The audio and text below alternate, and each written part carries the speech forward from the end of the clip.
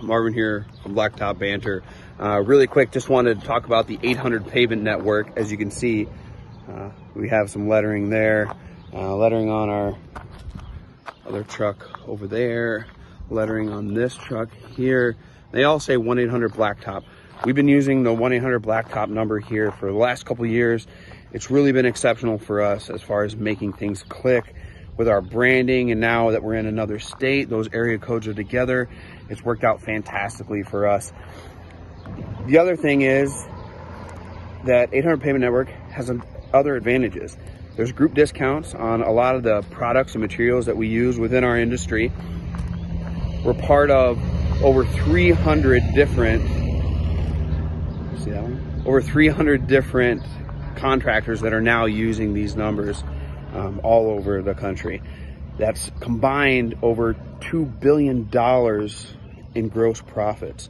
So if you've been thinking about it or you're curious about it and you're like, well, no, should I or shouldn't I? DM me, message me, or reach out to 800 Pavement Network. You can find them online through their website. You can call 1-800-PAVEMENT and you'll get them as well they'd be happy to run you through kind of the advantages and everything else that we've been taking advantage of here at Wiscoat and Dubuque Asphalt Maintenance and how it can benefit you as well. Once again, if you're curious about it at all, you can always DM me. So yeah, 1-800 Black You can DM me or message me or email me through the podcast or Wiscoat or wherever as well. I would love to talk to you about how it has helped us.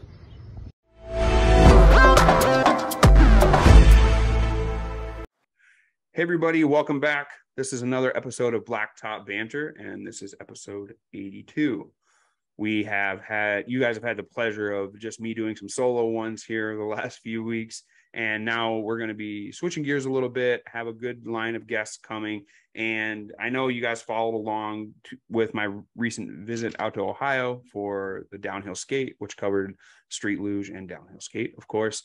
And after that, we already I was posting some content and uh, I connected with this guy on the interwebs, as some of the older people in our industry would say. And it was like, dude, yeah, let's totally have a conversation. So, uh, without any further ado, I want to introduce the 2017 Street Luge World Champion, Ryan Farmer. Ryan. Hey, everybody. Happy to be here. Super excited for what you all do. Um, it has a big uh, impact for what I do. And I think that's really important.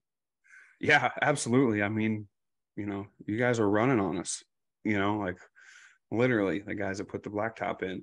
So tell us a little bit more about yourself and your career. Uh, I'm a, totally a big fan of your photography that, that I get to see um, reg- regularly now that I follow you and, and do everything as an observationist of the world myself. But tell us a little bit just about where you're at, what you do, and then we'll dig into like how this all got to this point. Yeah. So um, I'm uh, 29 years old and I started riding downhill about 11 or 12 years ago.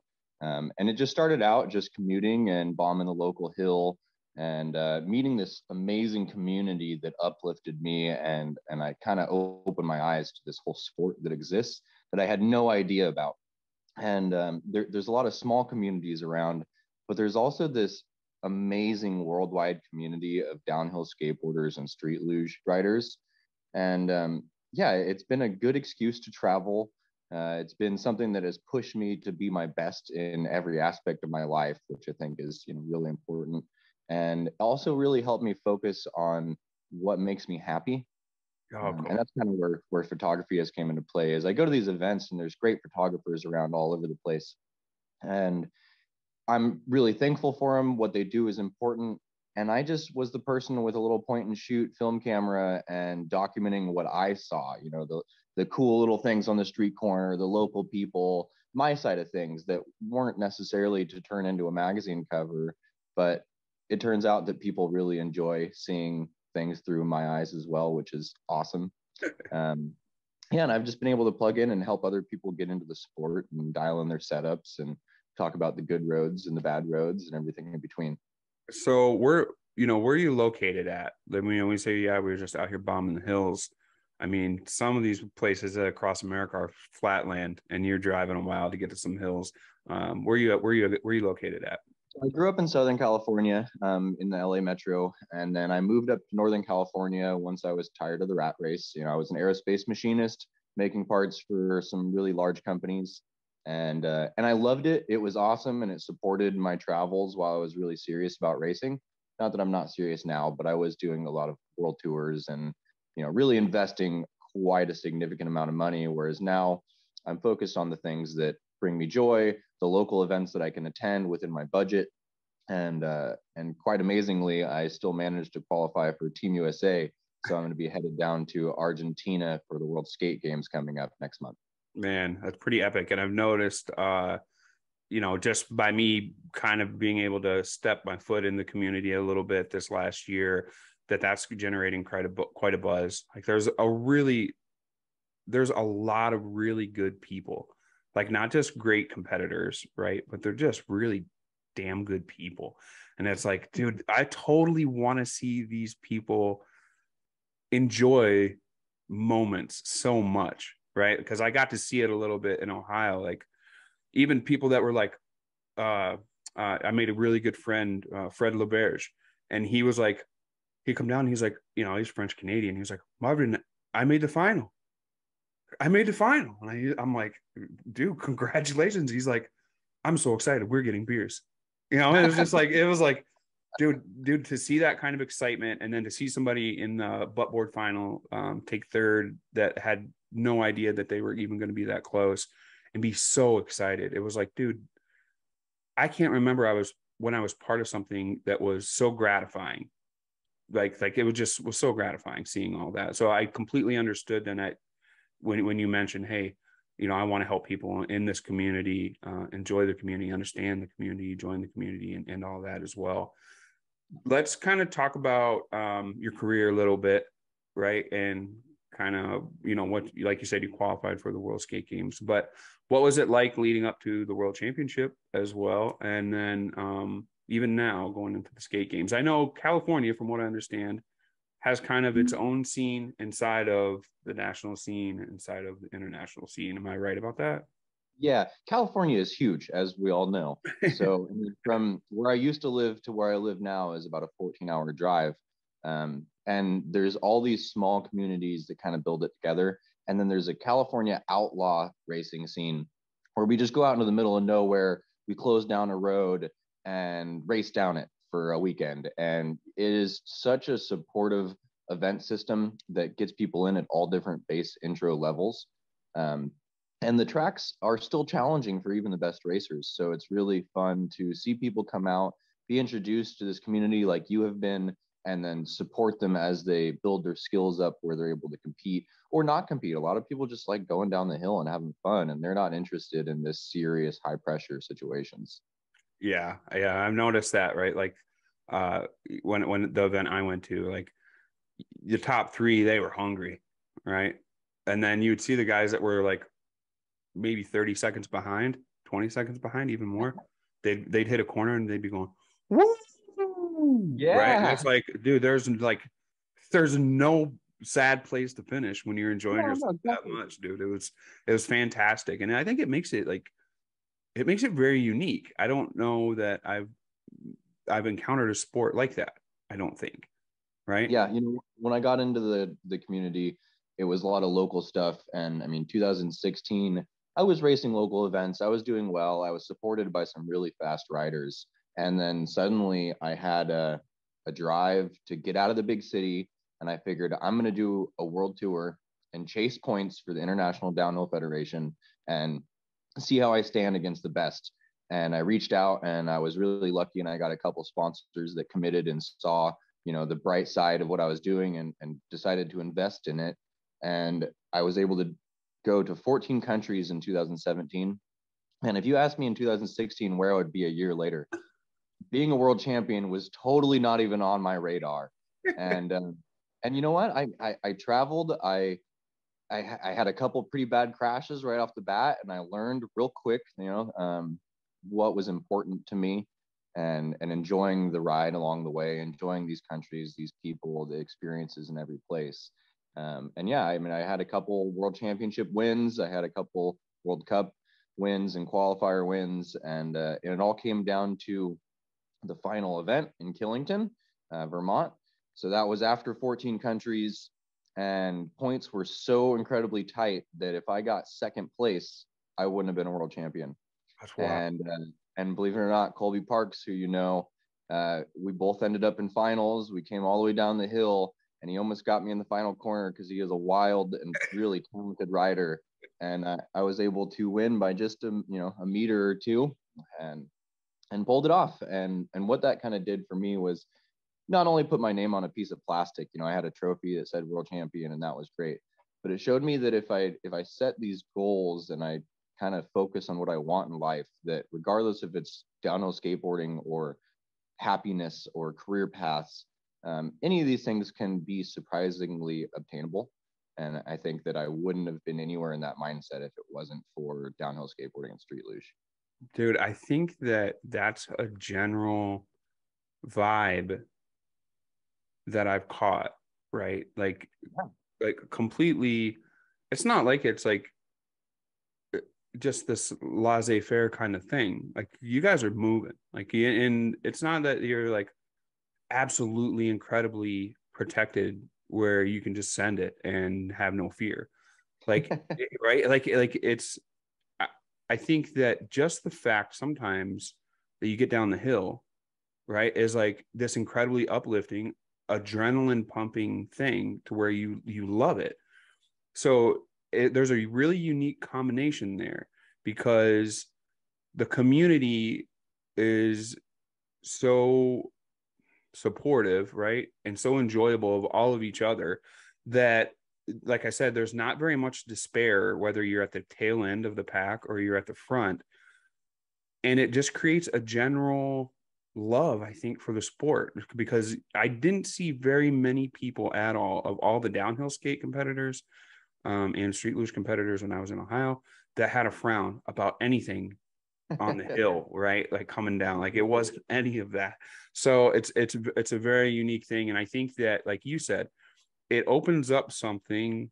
This unique sport, this unique community, it opens up something that allows you to see what's capable, right? Of mm-hmm. beyond that, and there's not too many things that are that are I guess how do I want to put that? Where we are, street luge and downhill skate doesn't exist. Like there's no yeah. there's there's nothing. sport. Nobody right. knows what we do. Right. So so it makes me think like how many unique and different things are out there that are the key component for somebody to all of a sudden realize, well, this is just a gateway for me to really enjoy life and discover things about myself and how the world can work and how a person's personal legend. I always love to say personal legend because I I read The Alchemist a lot, and um, you know how you find that, and how you get on that path, and how that feels for somebody.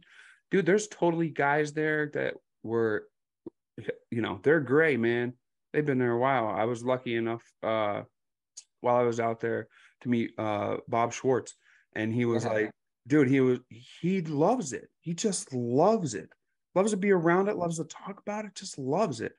And he was like, This is my thing. like this is which is funny because that man has done incredible things in his life. Oh, but yet yeah. the, the thing that he's most stoked about is riding his street luge with a literal rocket attached to it at like 120 miles an hour down a drag strip. Yeah. And that is so incredibly cool. Yeah. Yeah. Awesome. Yeah. And I mean, to me, I think about like, what if it didn't exist then?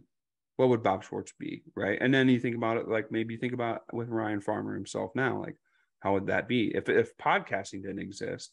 I would still be making Blacktop Black and being like, why the heck don't I enjoy my life so much? Like, what am I mm-hmm. not doing, right? That's not letting me enjoy this. I wonder how many of those different types of things there are. Like, you know, there's so many mainstream ones, right? Hey, get into football or get into soccer or join chess club or whatever the heck it is. But there's so many of these variations of different things that everybody should try. I think that gets them into it and gets them into the scene. I think a big part of it is the mentality too. You know, it's not just that these little sports or little activities change our lives. It's the mentality of, wow, I'm doing something for me. You yeah. know, so like we can go out to the work grind all day long and work hard and sweat and put in the time and support our families and these really important things that we need to be doing. But if we do it with an open mindset of who am I going to meet today? What flower am I going to look at on the way to work? You know, what smell other than burning black tar am I going to be smelling at work? yeah. You know, if we can slow down and recognize these little things, it really can open up our life and enlighten us a lot more, I think. Yeah, I think so too. And I, yeah, that's why I comment about your photography. Those moments, those seconds that you capture are like windows into what's real in the world, right? Because the repetition yeah. of everything we see every day becomes almost numbing. Right. Mm-hmm. So you, you get to capture a moment and you're like, oh, yeah, that exists during the day, during the moment, if I would just stop and look at it for just a second. Right. And yeah. sometimes it just means bringing awareness and things to it and that's kind of I know you and I were talking beforehand, so I'm going to segue this uh, into it. But um, I was talking to you about how when I was at Ohio, I had an affection for the way the urethane wheels sounded on the pavement coming down the hill. Right, like of my day, of anything I seen, did, of any senses, and that's hardly ever happens to me that sound through my ears was my favorite moment. And I would sometimes just stop and not even film, not record, not do anything, just wait for that to come. That that was a crazy thing because any you know anybody if they've watched any of the content or anything, those are blind corners. Some of them that I was around, so I didn't know who was coming, when they were coming, or whatever. The only anticipation I had was that that sound. Um, and those were the moments during my time there where I was like, "Oh, this is so enjoyable." like yeah. knowing what's going on, that kind of stuff. So let's talk about that a little bit because I noticed that different parts of that track were that whether there was old pavement, new pavement, uh, patch pavement, fixed pavement, the sound would be a little bit different because the pavement was different. Yeah. Um, after being able to take a world tour and do your thing, my friend, you've seen a lot of pavement, more different types and variations of pavement around the world than I have. And you've been up close and personal just as much as I have with pavement, um, being that close to the ground. Um, tell me about some of the pavement types. Regular black asphalt, I know for sure. Um, you know, that's a lot of the stuff here: limestone rock, sometimes granite rock, sand, and uh, oil. And we mash that as much as we can to make it as smooth as we can. I mm-hmm. noticed that when you get to Europe, uh, it's not always so smooth. Um, can you kind of tell us about pavement types, different types, concrete, all that stuff. And, you know, just kind of that general consensus of what you have experienced uh, in your career. Yeah, completely. You know, for us, it's this really intimate relationship with the ground that we have with pavement types. And each one of them have a have a characteristic that have some pros and cons. Um, what I've noticed a lot is cities and townships and counties that have a higher budget obviously spend that money on their roads more than some that don't. Um, so when you go to Europe, it's kind of the same thing. You'd be surprised some places that can get away with high end maintenance on their roads, closing off a road that might not be necessary for winter, so people aren't driving on it, they're not salting it. Oh, really? um, there's some really incredible pavement out there. It's just about where are they spending their budget. Um, and then, you know, the cheap way, I don't know if this is a technical term, but we talk about chip seal all the time, mm-hmm. where uh, where people come in and they take a beautiful blacktop road and they spray some chip seal on top of it. So they think they're making it last longer. It's yep. the lowest budget option that they can. And for us, it makes it rough, it makes it rattly, it makes it slow. You know, yep. like all racing, smooth is fast. And that is so true with gravity sports. You know, when we're talking about corners and everything like that, if you have something that is blacktop, butter smooth, it's going to rocket you out of the corner because you can stay in your tuck more. You can have a better line. You're not fighting these transitions in the road, these patchwork, you know, everything like that really plays in for what the best line is. Mm-hmm. And I talked about uh, in a, a, magazine I'm working with, the Free Ride Flyer, talked about reading the road. So I'll walk a track. I'll start at the bottom or the top, and I'll come up and I'll get low, and I'll see how the road makes around these corners and and how the grades are, how the crest is, how the crown of the road, and um, and then also transitions and things like that and grip. I'll put my foot on the on the blacktop and I'll try to pull it and I'll see if there's a little fine silt layer and my foot just slips or if it's just like tacky, sticky kind of glue. And, all these things come into play when I'm reading the road. Now that being said, sometimes there is the rare occasion where those bad transitions and, and patches make it extra unique and character. Um, and things don't have to be perfect to be fun, but it definitely helps make you faster if they are perfect. There's right. a road in Southern California that's uh, it it makes no sense. They built a new highway around it. They're never going to repave it. It's right on the border with Mexico, near Tecate, Mexico. It's called Barrett Junction, and it is the worst pavement I have ever seen, let alone ridden down. There are yeah. potholes everywhere. There's sections that are practically gravel. And meanwhile, you're doing like 60 miles an hour, uh, happening from the ground, trying to avoid potholes. So when you when you talk about reading a road and you want to straighten out your corners and take that perfect race line, you know, when we come into an event and I walk the track, I see sometimes that perfect race line isn't going to be the fastest. Sometimes I want to go around these potholes, or we call it the bacon strips, where they're all wavy and pressed up from cars driving over patchwork. And it makes it interesting, it makes it unique, and it brings a whole nother level of how to read it. Mm-hmm. Now, does that mean I wouldn't want them to repave Barrett? No, I absolutely would love them to repave it because it would make it so much faster. It would make it safer, you know, all these things that are are welcoming to getting more people into the sport. But it definitely is kind of cool. And that noise you're talking about, it changes with each pavement, whether you have this smooth rocket ship flying past you or uh, a coffee can full of nails and bolts rolling down the hill. And there, there's certain tracks that sound like that. You just sound, you hear the board rattling and bouncing off the ground and and feet skipping across the pavement because there's no place to slowly and smoothly brake. And and at the same time, everybody's hooting and hollering and having a great time, and the smiles are all around. And uh, and it just changes the characteristics. Now that would never be a World Cup level track, um, right. So it's it's something that is just uh, the characteristics of the Southern California events and California Outlaw Racing Series. But I think that's still valuable, you know. And then when I go to places like Kozakov in the Czech Republic, that track gets closed down every winter. There's another way up to the top of the mountain, and they protect it in such a level that creates this absolutely perfect racing experience. And the one of the best noises I have ever heard is standing on the side of Kozakov. When you have a group, you know, the free ride runs are multiple people. General racing, you have four people, sometimes six on certain tracks, sometimes two on really technical fast tracks. But you hear this pack of racers flying by you, and it's just a, a whoosh, whoosh, whoosh, whoosh, whoosh. Well, Kozakov, all the lugers sometimes will go down relatively close, and you'll have 30, 40 people side by side at 70 plus miles an hour. And it is the Crap. coolest experience just sitting on the side of the road and you feel the wind blowing off of them and you hear their urethane wheels interacting with this perfect blacktop pavement. And that's that's just this relationship that wouldn't be possible without people like you that make sure these roads are maintained and you know uplifted and, and held to a certain standard that I think is really important. Yeah, I mean, you know, when you think about all the different types of pavement, pavement maintenance, um, patching, and not only that, just the different combinations of ingredients that go into making a pavement, right? So whether it's asphalt or concrete, and I want to ask you about that, the transition, if there is some mm-hmm. between concrete and those types of things, and painted surfaces and whatnot, because you know, we, we like our street paint here, but in Europe, I've, I've come to find out they really enjoy it. They like it putting it down thick and heavy, and a lot of it, and a lot yeah. of different, a lot of different ways too.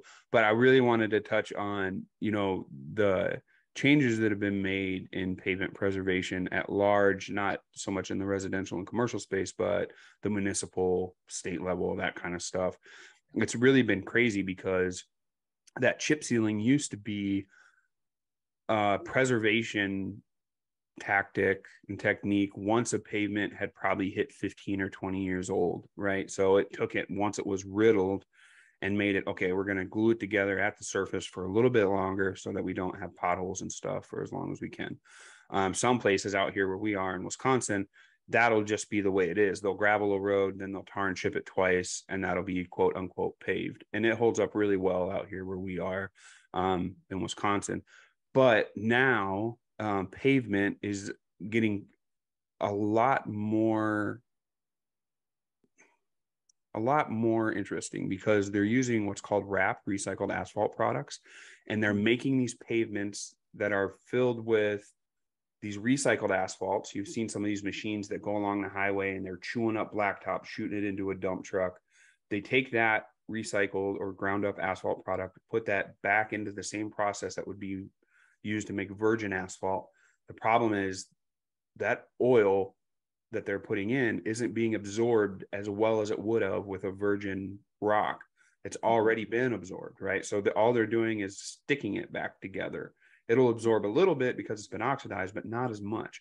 So they've been doing that now for roughly 10 years or so, maybe more. What we were, what we're finding is that the asphalt will deteriorate faster now, right? Okay. It just it it's it's not it's not absorbed and as dense as it would have been regularly. So, in order to slow down that process, they chip seal it right away. Like they'll put the black top down, they'll lay it, it'll be perfect, and they chip seal it right away. And you're just like, ah, oh, like, oh, like why, like why, why do that? Like why even go through that whole process, especially when you could just graveled it and tarred and chipped it, and I wouldn't be so sad about it. But yeah, I mean, it's it's it's definitely noticeable. It's noticeable. It's noticeable when you're driving, right?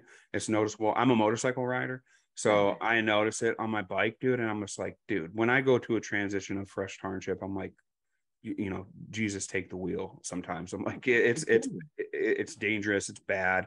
Um, I understand where its purpose is, but um, they're doing it on a brand new drive, brand new highways and roads and stuff, and it doesn't make much sense at all. But that sound changes, right? You can just feel the friction change on your motorcycle tires, right? You, yeah. you hold on tighter, right? You go slower, like it, and it makes you go slower. So yeah, I mean the even the maintenance level changes the levels of those those pavements and those conditions. But tell me real quick before we jump into like all kinds of conditions and how you adjust your hardware and and what you're up to for these different types of pavements the I want to talk about those concrete transitions and those paint transitions and those types of things real quick. Like you like if you if you're doing a track walk, and I, I want to tell you about my track walk uh, at Ohio too. But um, if you're doing a, a track walk and you're going down and halfway through it, there's a concrete piece near a corner, does that change you change your mind up very much? And then if there's a painted crosswalk or if it's heavy traffic paint on the sides and that's where the good line is, and you're like, well, you know, if we're if we're dry, we're fine. If it's wet, we don't want to be over there. You know what I mean? You read my mind. You read my is mind. that what it is? So so there are a lot of tracks like that. Um, one that comes to mind is in South America. There's La Leonera in Colombia, and the main hairpin corners are pretty much completely painted. It's big, huge white border lines um, in the corners. And first day of practice, dry. Everything was fine. I walked the track I took my practice runs, I started getting faster and faster, and I figured out my race lines. And then qualifying, where it's timed runs solo down the hill, second day, and it was pouring rain. And suddenly, where I could hold a line before was puddling up, and these uh, these paint sections had zero traction in them. And suddenly, I just had to hit the brakes so much earlier. And and even that, in the braking zones, were more striped paint lines, and my feet you know, the paint was almost a half inch thick. They just yeah. laid it on. Yeah, I was gonna say they layer it up. Yeah. And there was just these transitions that every time I would put my feet down or come through a corner, it felt like speed bumps. Yeah. And um, you know, changed the mentality of of the racing. It was more of a survive to make it down the hill and then just try to be in front while people are crashing out around you. Um, which I, I'm not a huge fan of. It was a really, really fun track and it made really interesting racing. But the the pavement painting that they did there made it quite difficult to read. Yeah. Um, and then, you know, like you mentioned, there's crazy technology in these things. There's another street luge rider that it was sponsored by an asphalt company in England. Uh, the sponsor was Bituchem. I'm not sure if I'm pronouncing that okay. right. Yeah. But they um they have everything to like glow in the dark pavement paint, which um you know I've never ridden over it, but it yeah. makes me wonder what the future of our sport is going to be like with these different changes in renewability and the resource availability and how that relationship is going to change with what we're doing because everything that we do is already on this whole system of pre-built roads. None of this is built for oh, us. The infrastructure is already there which is great because we can go to places that would never build you know like an ice luge track for 30 people to show up on top of the andes. But we can go out to peru and suddenly there's these 60 hairpin you know 15,000 foot passes that are just dreamy to ride a luge down Yeah. for now. How is that going to be in the future? Yeah. I mean, it, it almost puts you in like a Tron kind of thought process when I think of it. when, you, when you talk about the glowing paint, like you could totally pull off, uh, you know, glowing sidelines all the way down, a glowing middle line, and then everybody be having something on the back, a color, a light, or something. And you could totally do a night run. We've, Right. done, we've done night runs, and it's Yeah. uh it's always interesting because sometimes with the full moon and a couple street lights, it is really fun and not very dangerous. You can see really well, and then suddenly you get no moon, and you know you go out there in the middle of the night and you can't see anything except what your headlamp illuminates. You know, some feet in front of you at Yeah. 40 miles an hour. yeah, yeah, yeah, yeah, yeah. Dude, it's it's totally cool to think about that futuristic wise, right? Like just man, what what what could be possible? What is possible? Real quick before we get going, I'll tell you about my track walk and kind of what I uh, what I think may have like adopted me so promptly into the community, right? So I I, I arrived there. Colby kind of introduced me to people. They asked why I was there, whatever. I go to the top for the per- first practice run, and um, you know, on the on the we're in the U-Haul riding up, and uh, the guy's like, "So what are you gonna do?" And I'm like, "Well, I'm gonna you know make a video talking about the pavement conditions and how it affects you guys going down the hill." And then I'm to come back up and get some shots. And then I may make another video about certain sections of the pavement that are in the track and in the course. And then I'll go about that too. So I took my time making that video going down. They probably did, dude, they had a good run that first day. I think they did probably 15, 18 runs, dude. So they did a really good, had a good day. I took my time. I came down, rested one time while they were still going, and I went back up again. When I came down the second time, it was near the end of the day. So some of the people were still wanting to go and some weren't. The ones that weren't were waiting and asked me, like, well, what do you think? I'm like, what? I think what? And they're like, like, you know, what's the good part of the track? Like, where, where's the good lines? I'm like, man, I'm, I was just kind of doing the pavement conditions, but I can tell you what I know about pavement in general, right?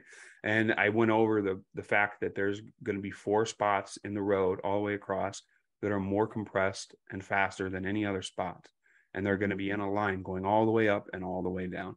So the quicker if you're going to move from corner to corner and transition to those lines, and those lines are where the tires from all these vehicles have went Yeah. thousands and thousands and thousands of times now. If you were to go down the hill on one of those in a straight line versus right next to it, you know, a foot or two feet the other way in a straight line, the one that you're on that's been compressed by road tires should be a lot faster than the other one by the time you get to the bottom, right? And then that threw in the mix. Well, what about there was a spot actually where something had happened and they painted it yellow. Like they're like wanted everybody to be aware, right? Like this is a hazard area, and no one could mm-hmm. figure out what happened. But I found out what happened, right? I went by it. I've seen it a few times. A vehicle must have stopped there and caught on fire, and it had caused mm. the pat it caused the pavement to expand. And when it expanded, it not only cooked the oil, but then it made it ravel. It made it very, very rough there. Now mm. it, it was a good stretch. It was probably it was it was a full length of a vehicle, and that was down the the hill before you get to the chicane, the very first Yeah. chicane going The down. little right? roller coaster section. Right, right. So that whole stretch, you know, everybody's humming pretty good at about the same speed. Yeah, but 60. if you, yeah, 60. But if you would hit that spot for 12 seconds and you were half a length in front of somebody and they hit that spot, that could be a full length before you go into the chicane, right? Like, yeah, you totally could make the move with that. And that's and that was my that was my kind of my two two cents. Like, hey, these are the lines I think it is. It's gonna be there's not bad conditions, but there's one spot here that could be really bad. It had actually what we call pushed in a few spots where if you think about it in tectonic plates kind of on a hill, I'm sure you've seen it. Um, some of the pavement will actually want to kind of rise above another piece of pavement. get the rolls.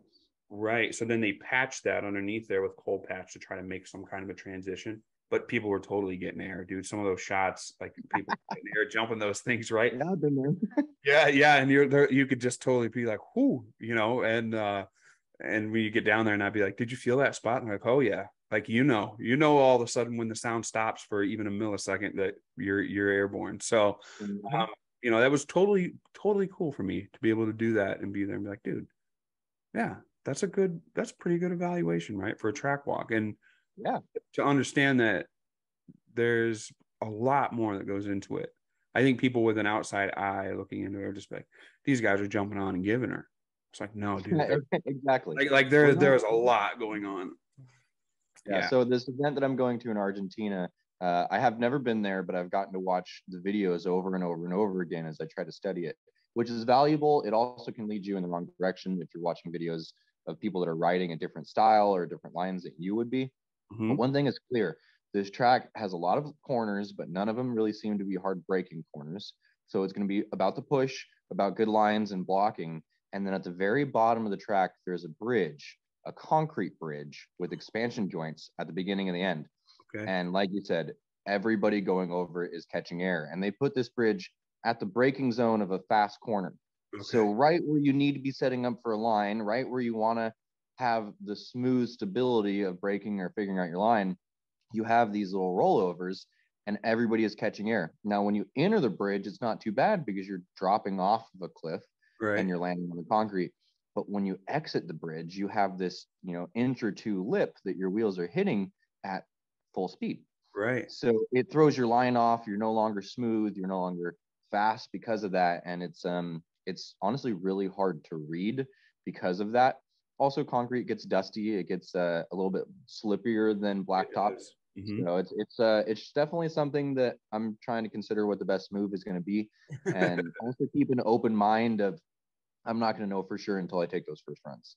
Yeah, yeah. I mean, you take your practice runs and kind of see what's yeah. going on with it. That's the thing between concrete and asphalt, um, the porousness, right? So asphalt, there's always going to have air voids, right? Because we roll it and compress it and mash these hard materials down. Where concrete, it's setting, you're getting all the air out of it, so that's completely hard, right? So the, the any kind of moisture will uh, hopefully uh, go into the pavement or evaporate where on concrete it's going to sit on there until it mm-hmm. evaporates for the most part right if they seal it things like that. So it's totally interesting. I was just thinking like you know do you do you plan to try to set your line hard on the bridge so that when you come out of that that jump you're in the best position or do you just give it and then when you land position yourself then to go into it? You know it's it's uh it's a it's a hard thing to think about. Exactly so let's really quick then talk about pavement conditions and the adjustments that you make because of it, right? So we can talk about the mindset stuff, right? Or stuff that you know, your awareness of, hey, it's going to be, we kind of touched on that a little bit. Hey, it's going to be wet. The paint over there on the right is going to be super slick.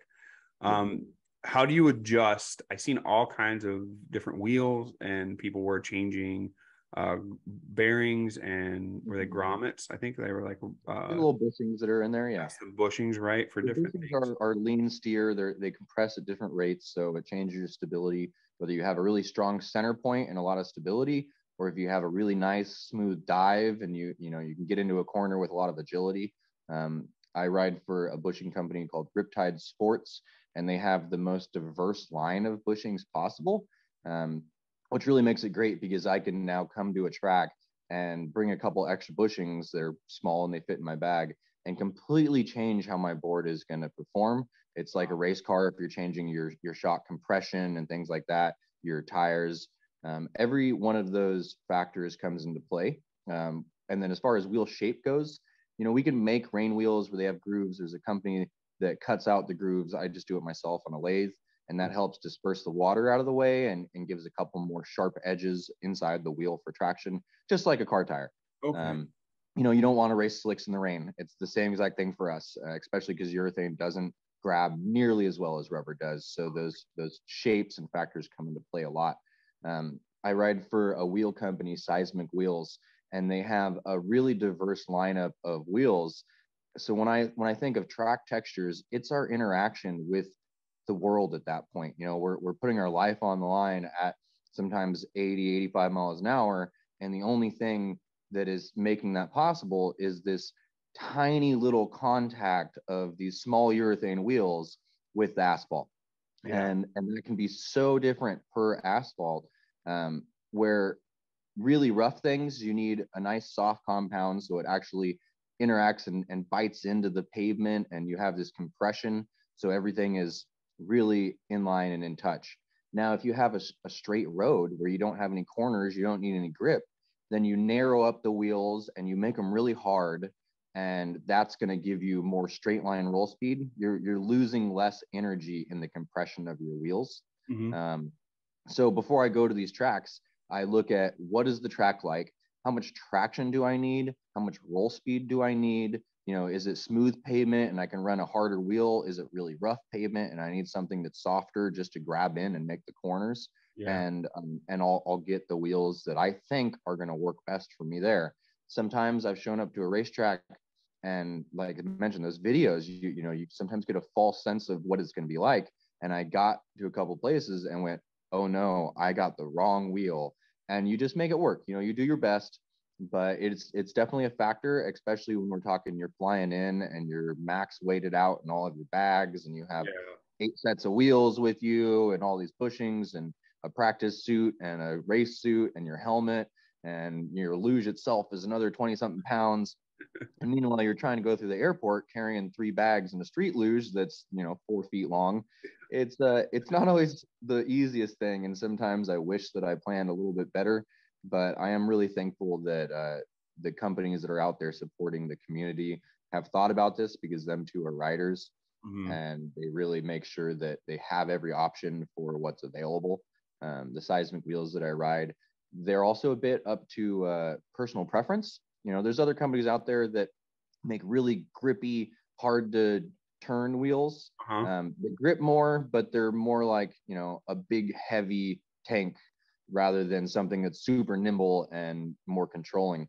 The I like a wheel that when I'm on the edge of traction and it's starting to slip and that corner, that sharp little lip of urethane is pressing into the blacktop, Mhm. you know, as I come around a corner, if I need it to lose traction, I can just push it out just a hair and control that slide versus something that's either full grip and then if you need it to slide, you have to commit to this big honky slide of a Oh, yeah. wide contact patch. Um, so it's it's rider preference and it's, it's experience knowing how to judge a road and, and determine what kind of material and wheel shape and wheel compounds that I'm going to bring. Um, and then a lot of the times I think I have it and I decide not to bring rain wheels and then it starts raining. So, you know, prime example is I'm in South Korea and it was a long flight and practice day was great. And then it started raining and I didn't have rain wheels. So you need a lathe to cut these grooves into your wheel. I didn't have a lathe. You know, I'm in the middle of the mountains Correct. at the Olympic uh, training grounds there for the Olympics they hosted there, the Winter Olympics. And they happen to have a go kart track. And mind you, these guys at the go kart track speak zero English. So I come over there with my luge and a handful of wheels, and I use my hand signals and the Google Translate app to go, hey, can I use one of your go karts and hold my board up to the spinning wheel when it's on a jack and use it to power it like a lathe? And then do you have a pocket knife that I can cut these and they laughed and laughed and laughed but then they helped me because they're Yeah. you know the racers. They like it. They they Yeah. understand that these different things are really important to us. So we did. We sat out there under the overhang of their go-kart track with their go-kart up on a jack and used it to power the wheels still on our axles of our boards with a little handheld swiss army knife and cut in rain grooves. And then i got on podium. I got third place there you know it was it was an incredible experience and there's absolutely no way that that would have happened if it wasn't for the help of others and being able to change my setup on the fly. Oh man, and such a good story, right? To be Oh, able, so be able to tell that story, like, and just be So like, oh, dude, and, and we podiumed. Like, uh, yeah, it was awesome. yeah, yeah, that makes it even better. Like, dude, we totally redneck ingenuity this thing Yeah. and, and made it And it was like seven or eight hairpins, and the pavement there, it was concrete with these grooves in it. Like, Yeah. I don't know what it would be for. I've only seen it there. It looked like, yeah, it looked like somebody took a rake down the whole road. Yeah, it's for it's for cattle. So a lot of times they'll groove it so that the cattle have something, whether they're Okay. walking across, right? Or they're walking up. Most of the time they'll groove it so that it has some kind of foot if they're going to move cattle. Yeah, Like like then they don't slip and fall going down it the was hill. incredible. It was the weirdest experience, but it was really fun, and we were able to make it happen. And yeah, it, it, it would just change it. It also helped the water roll off really well. Yeah, and I think that's the point, right? Of, of whatever they're doing. Like, hey, we want to have the water off and create grip for wherever during a cattle Yeah. crossing or whatever they're doing. That leads me. Um, I have two questions for you. Um, one, what about crack sealant, like the rubberized crack sealant that you see Yeah, people? trust. Yeah, like what is that? The, is it? Does it give you the same kick like when you're on a motorcycle and you hit it? You're like, oh my god. um, does it do that when you're on luge too? It definitely does. Um, it, the big issue for me with we just call them tar snakes because of obvious reasons. yeah, yeah. And these tar snakes, when you're hitting them, you know, perpendicular and you're going straight and they're just across the road, they're not too bad. You know, you're not on the edge of traction. But like I mentioned, smooth is fast. And if you're in a corner and you hit a patch full of them, it's yeah. going to bounce you around. The other thing is kind of like the crest of a road when you see you guys pave the right hand downhill lane and then you pave the uphill left lane and then that transition down the middle. If you just happen to accidentally find yourself going straight on it, just like a motorcycle on that kind of transition, you get shaken all over the place. It's hard to stay upright and you're on a lean steer vehicle. So as soon as your board starts wiggling, you start pointing all over the place and going yeah. in any which direction. So it, it's really important to know, you know, are these tar snakes in a straight line? Are they at an angle? Are you going to hit them in a straight section or in a corner section? Um, and then also you can see the guys that really care about their work and they put in the time to make it smooth. And then other people just clump it on there, hit it with a torch, and call it good. Yeah. Write their name and draw a little, you know. Yeah, yeah. Smiley face. Yeah, exactly. you're a wiener. Yeah. Smiley oh, face or I've seen a handful of them, and it's like yeah, yeah. Isn't that international? That's international asphalt language. uh, the the other question I had for you was um new pavement versus old pavement right? So when we when we talk about the wheel choices and these types of things um on and this is just in my brain the way that i i would think it would work um and let's say there's a both smooth pavements a newer asphalt that had just been paved is going to be stickier because a lot of that asphalt concrete that's in there the black oil that's in there is going to be there. If you had a softer wheel on a stickier newer pavement that would be slower than a harder wheel, correct, on that newer pavement. So is that the right adjustment or what do you do you make an adjustment for that depending on if that's the case? So so I'll go even more extreme and we'll think about street skateboarding and uh, full concrete parks. Their urethane wheels are incredibly hard. So like a ball bearing, you have a steel bearing and a you know a steel ring and that's going to roll faster. But as soon as you need traction, it's going to slip. So on blacktop, we run really soft urethane that's uh, really grippy. And the harder the wheel, the faster it's going to roll. Like you said, the softer the wheel, the more grip you're going to get. And as far as the interaction with new pavement, I think from my experiences, there's a fine line. Really freshly paved roads are still leaching out that oil. Yep. You, they'll tend to be really slippery sometimes, no matter what wheel you have and then really old roads are rough and you just can't get your wheel to grab in the same amount. So I think there is a sweet spot of a road that has been recently paved so it's smooth, so it's nice and sticky blacktop, but also it's leached in and absorbed that oil and rained a few times to push out the oil that's sitting on the top. Um, also, if it's any road and it is the first rain of the season, it's going to push that oil right out of the top and it's going to be slippery. So yeah. it, it, it helps if the roads have been washed, if there's been a decent amount of rain a mm-hmm. few weeks before, rather than a lot of traffic on it that's just spitting oil all over the place. And then suddenly the first rain happens and we're just hydroplaning across it. Um, so I think there's a sweet spot in there somewhere. Yeah, that's uh, one of the things I noticed at Ohio is they the town brought the street sweeper out. Like that town, uh, Bainbridge loves, I guess, must just love the fact that it happens there. They, they love it. So they'll bring whatever out they needed out there. And it was great to talk to the community, right? That community loved it. And the guys like, oh, I love seeing these guys. I never do it, but oh, I love watching these guys come out here and do this. Been watching it for X amount of years and people coming to the end of the driveways and bringing their lawn yeah. chairs out and checking everything. Awesome. It's totally awesome spectator sport, but for me, yeah. anyways. But I've even um, seen somebody pull out a, a torch dryer like they use on airport yeah. tracks and stuff like that. So there was a, a, guy that was trying to do a speed challenge in England, and um, I believe he was in England, somewhere in Europe, and the road was wet, and you can't go that fast when the road's wet. So they had a big budget. They were doing a video, and they pulled out those road dryers that is a jet engine with the exhaust pointed straight on the ground, mm-hmm. and dried it just as quick as it was getting wet for him. Dude, that's crazy. It was incredible stuff. It really I was. like, yeah, go, yeah, we want to see you go fast as you can.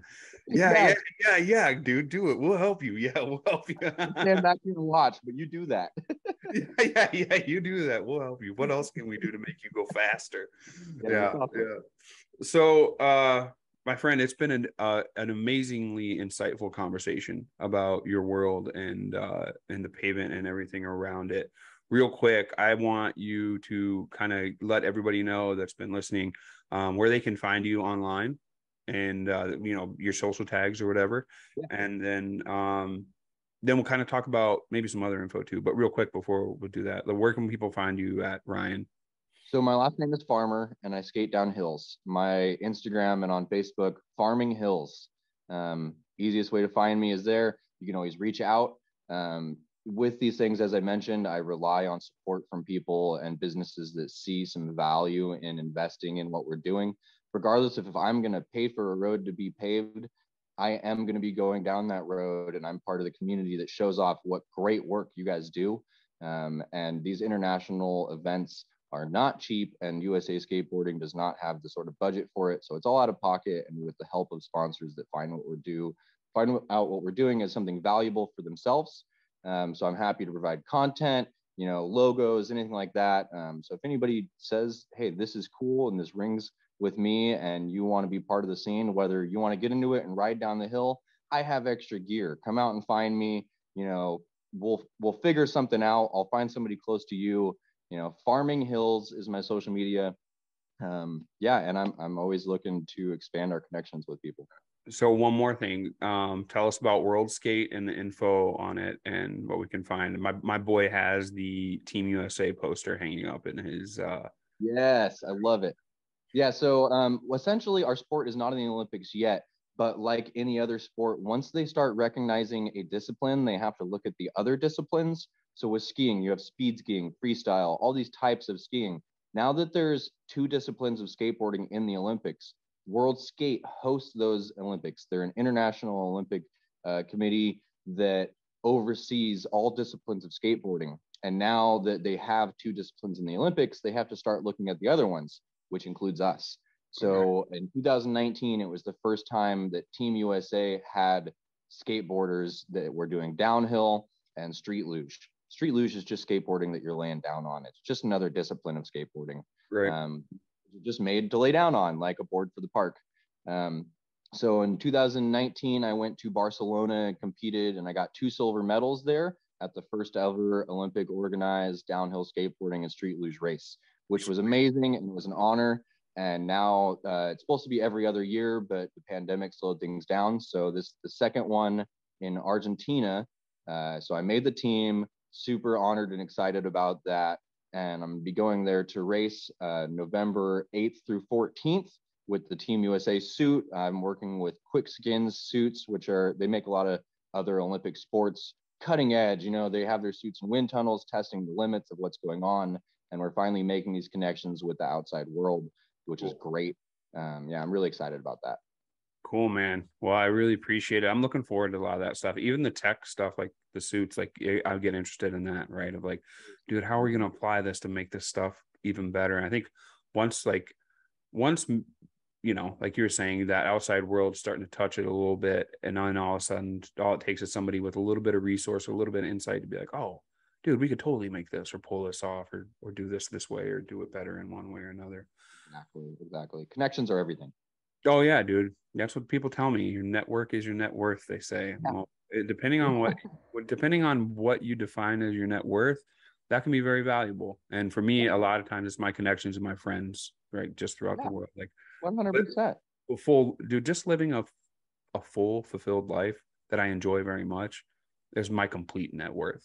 Like, dude, when I get to the end, I'm like, dang, that was fun. Right, that was full. Uh, that's what I look forward to, man. And it's always about the connections in the community and the friends you make. My friend, uh, thank you once again for joining us. I really appreciate it. Um, you know, hopefully we get to have uh, some people back on here, maybe including yourself, um, coming up here within the next year. I'm very excited for downhill, whether it's downhill skate, whether it's street luge, whatever it is, and the fact that our world is somewhat getting back to normal. I think we're going to have a lot of highlights, a lot of fun, and uh, a lot of stages that we're going to see all y'all on. So I'm excited for that. Um, any last pieces of advice or any last comments or quotes or anything you'd like to say here before we sign off?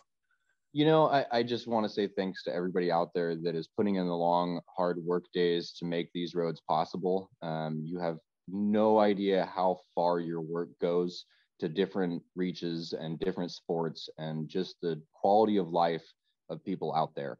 Your work is meaningful, it, it changes lives. And I just want to say thank you because it changed my life, um, all for the better. You know, I really appreciate all the hard work that everybody does out there. Cool, dude. That's amazing. And it will make for a great soundbite for our industry. So, uh, totally, totally. Thank you very much. All right, for myself and for Ryan Farmer, this is Blacktop Banter. This has been episode 82. And as always, here on Blacktop Banter, we speak asphalt. Peace.